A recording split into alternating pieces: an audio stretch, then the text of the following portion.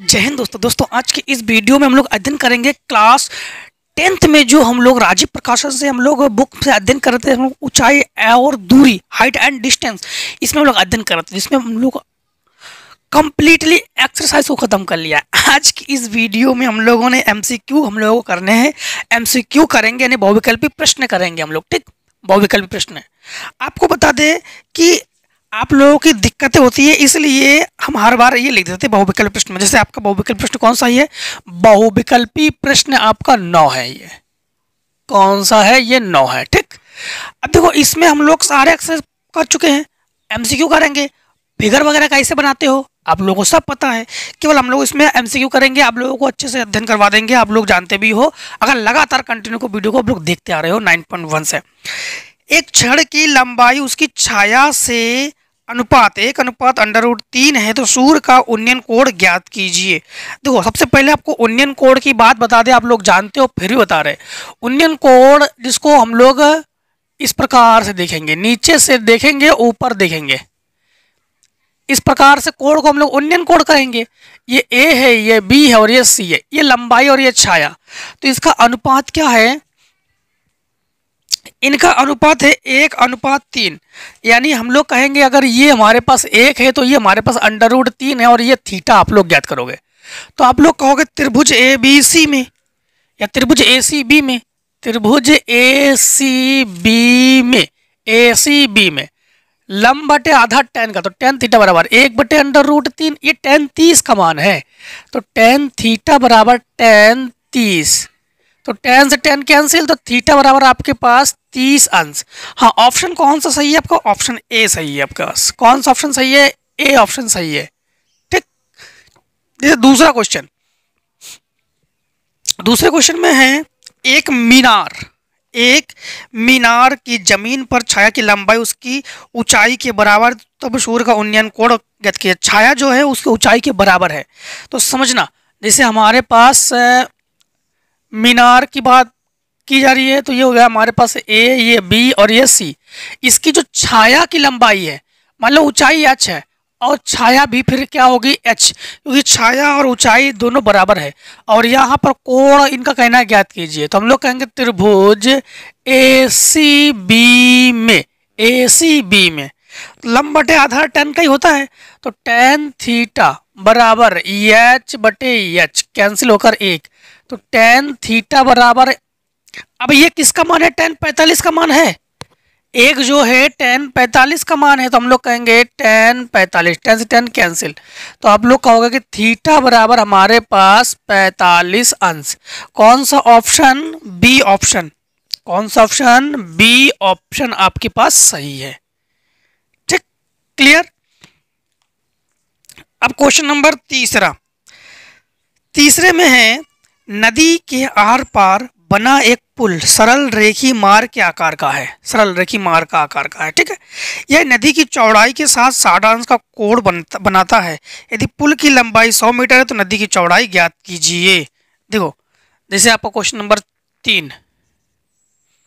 एक नदी और एक पुल की बात की जा रही है इसमें हाँ?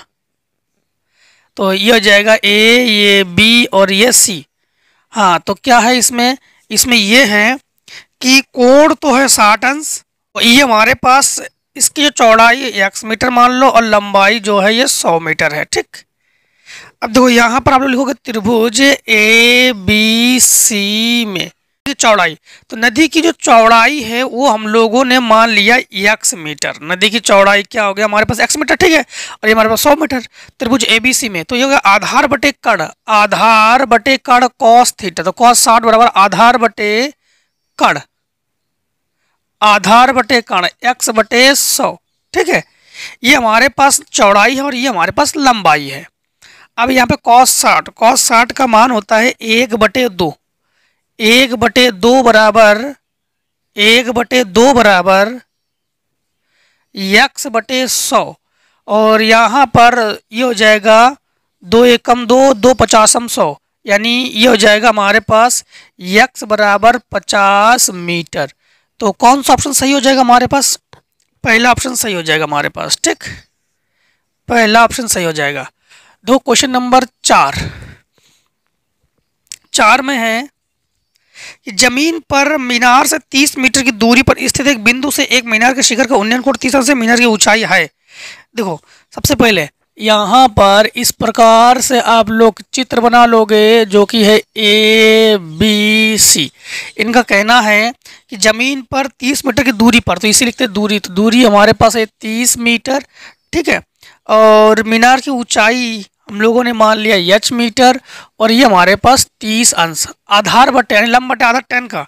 तो हम लोग कहेंगे त्रिभुज ए बी सी में। टेन तीस, लम बटे आधार तो यच बटे तीस। टेन तीस का मान एक बटे अंडर रूट तीन और यच बटे तीस। तीस को ऊपर पहुँचा दो। तो यच बराबर तीस बटे अंडर रूट तीन। अंडर रूट की कोई भी संख्या हो, ऊपर नीचे गुणा किया करो तो ये हो जाएगा तीस अंडर रूट तीन बटे तीन। काटो तो ये हो जाएगा दस। तो यच बराबर दस अंडर रूट तीन। कौन सा ऑप्शन सही है हमारे पास? तो चौथे का बी पार्ट सही है। दस अंडर रूट तीन मीटर।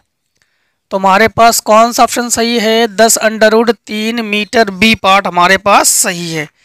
क्वेश्चन नंबर पाँच को देखो। एक पतंग ज़मीन के तल से 75 मीटर की ऊंचाई पर उड़ रही है। यह छत्तीस साठ पर कोण पर झुकी है, डोरी से बंधी है। डोरी की लंबाई याद कीजिए। दो क्वेश्चन नंबर पाँच। जैसे मान लो कि इस प्रकार जब भी हम लोग पतंग को उड़ाएँगे तो ये पतंग की डोरी हो गई इस प्रकार से। तो ये ए ये बी और ये सी डोरी की लंबाई तो मान लिया डोरी की लंबाई जो है एच मीटर ठीक?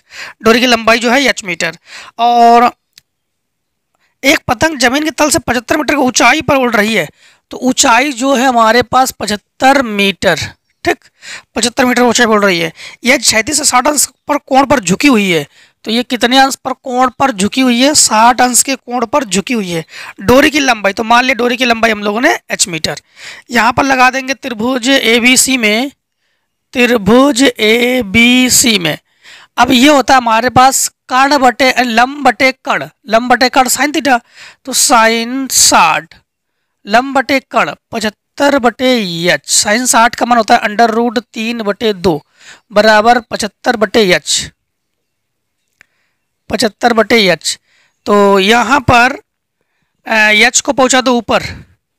तो यच बराबर हमारे पास हो जाएगा पचहत्तर पचहत्तर इंटू दो बटे अंडर रूट तीन। अंडर रूट यानी कोई भी संख्या अंडर रूट संख्या हो तो ऊपर नीचे गुणा करते हैं हम लोग। तो ये हो जाएगा पचहत्तर इंटू दो इंटू अंडर रूट तीन बटे तीन। पंद्रह पन्ना पचहत्तर। और पंद्रह दूनी तीस तो एच बराबर हम लोग कहेंगे तीस अंडर रूट तीन मीटर तो कौन सा ऑप्शन हमारे पास क्वेश्चन नंबर पाँच है ना? तो देखो, एक चीज़ और ध्यान रखना कि ऑप्शन नंबर हमारे पास इसमें तो ऑप्शन ही नहीं है। तो यहाँ पर हम मिस्टेक है पच्चीस या पचहत्तर। पंद्रह पंद्रह पचहत्तर तो पच्चीस पचहत्तर, पच्चीस दूनी पचास। तो ये हो जाएगा हमारे पास पचास। अब देखो जरा कौन सा ऑप्शन है? हाँ अब देखो बी पार्ट ऑप्शन सही है। बी पार्ट सही है तो पचास अंडर रूट तीन मीटर तो कौन सा ऑप्शन हमारे पास सही है? हमारे पास बी पार्ट ऑप्शन जो है सही है। क्वेश्चन नंबर छः यानी आखिरी, ठीक है? ज़मीन पर एक बिंदु पी से मीनार के शिखर का उन्नयन कोण अल्फ़ा है। उन्नयन कोण अल्फ़ा है। देखो, ज़मीन के एक बिंदु पी पर। तो ज़मीन के एक बिंदु P पर, ठीक, इस प्रकार से ए बी सी ऐसे है क्या? ज़मीन पर एक बिंदु P से ज़मीन के शिखर का उन्नयन कोण अल्फ़ा है। तो उन्नयन कोण अल्फ़ा यहाँ पर P मान लो, और उन्नयन कोण जो है वो अल्फ़ा है। मीनार के पाद की ओर डी दूरी चलने पर, पाद की ओर डी दूरी चलने पर, यानी यहाँ से यहाँ तक की जो दूरी है, ये डी दूरी है। मीनार का उन्नयन कोड बीटा हो जाता है। तब, एक चीज़ ध्यान रखना कि इसका उन्नयन कोड कितना डी दूरी चलने पर। जब डी दूरी चलेंगे, तब इसका जो उन्नयन कोड है, ये क्या हो जाता है? बीटा। इनका उन्नयन कोड बीटा हो जाता है, तब, अब तो अल्फ़ा और बीटा। अल्फ़ा और बीटा में कौन अधिक है? अब ध्यान रखना जो रेखा ज़्यादा झुकेगी, उसका कोण कम है इधर की ओर। इस चित्र को थोड़ा सा आपको ऐसे बना के दिखाते हैं आपको। इस चित्र को ऐसे तो समझना, और ऐसे ये ज़्यादा झुकी हुई है, इसका मतलब ये अल्फ़ा और ये बीटा।